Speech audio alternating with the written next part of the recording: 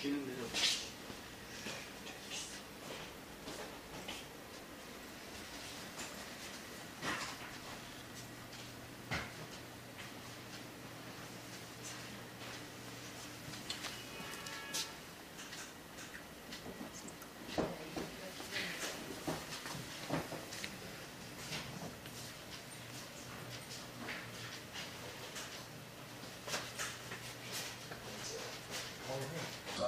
많이 지르시는데 이 비명도 요령이 있는 겁니까? 아니면 어떻게? 지금 굉장히 자연스럽거든요.